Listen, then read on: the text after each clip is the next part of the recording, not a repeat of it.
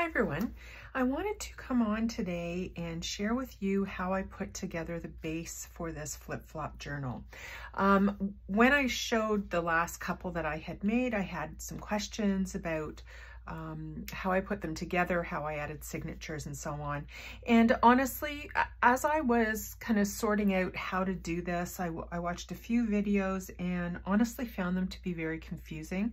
Uh, so I really wanted to come on and show you how I did it, um, to show you something that's simple, easy to follow, easy to understand so that you can, uh, you can make one as well. So before I start, I just want to apologize for the state of my hands. It is spring here, so I've been in the garden and I've got a blister and I've got a scrape, so I hope that's not too distracting for you. Anyway, let's get started. Um, let me show you how I put this together. So I used three large envelopes and one small envelope. You, These are new envelopes, of course, um, as you can see, but you can use um, ma um, mailers if you want, prefer to do that. You can use any size of envelope. You could make some really interesting uh, types of journals, I think, and depending on what size of uh, envelope you use. This is really just uh, kind of a traveler's notebook size um, made from these envelopes. So the first thing you need to do um, is take the small envelope and one large envelope. The large envelope is completely intact. I folded in the flap like this to make a pocket. And then the small envelope gets attached to the back of this in this way. Now I've offset it because I don't like it. I don't want it right in the middle. I want it offset just a little bit. And the other thing that you'll, you'll need to make sure that you do is don't um, go over the fold line. So just attach it, uh, just butt it up to the, to the fold line so it folds easily. Um, I should say I'm just using for purposes uh, uh, for purposes of this just the self-adhesive. Um, but normally I would use like a Fabri-Tac.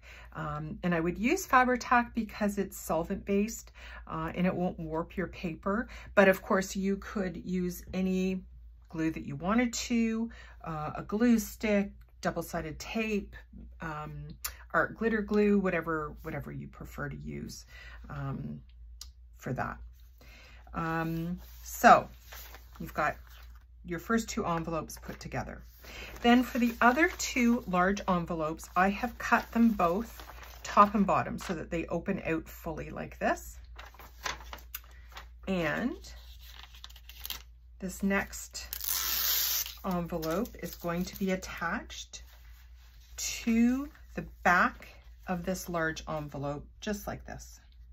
Again, just butting it up to the fold line. Okay. So you've got small envelope, envelope that's put together and made a pocket, envelope that is opened up, and I'm going to fold it like this. So I'm folding that up like that. With this one, Again, it's fully open and I'm going to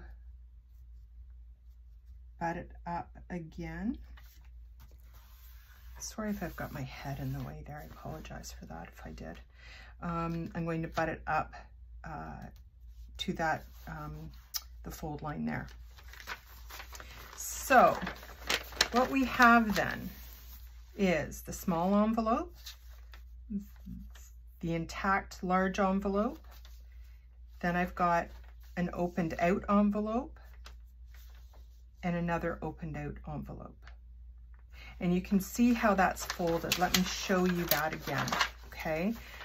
So between this large envelope with a pocket and this opened out envelope, you fold it up like that. Between this opened out envelope and this opened out envelope. Again, fold it up like that, and then that's your back. Okay, so let's do a little side by side um, so that you can see um, how this worked. Now with this one, I cut the top and bottom of the, of the small envelope so it flips out. So that's this envelope and I cut the top and the bottom so that it flips out. You of course can do, maybe you just want to leave it like that. You have a front image and a back image, but you could also just cut here so that you had a side um, um, uh, tuck, or you could um, cut just the top so that you have a top tuck as well. So that's this. Then the signature that you see here, that signature is inserted here. So let me just get a piece of paper. So I've sewn it in here. So right in that seam of the small envelope. Then this pocket is this. So you can see here I've added a small pocket to the bottom. I've got some inserts. And then on this portion, I've just got this bit of kind of paper trim. And then I've got this insert. When you flip it over, so you can see here, I've got a pocket here. So that's the pocket here. And then again, here in the seam or the, I guess the valley, this is where I've, I've sewn in the signature and that's this signature here. And then on the back here, I've got another pocket. So I've got a pocket, a pocket, and then I've sewn my signature in here. And I've just done a really simple three hole pamphlet stitch. I, I think you can probably see it here.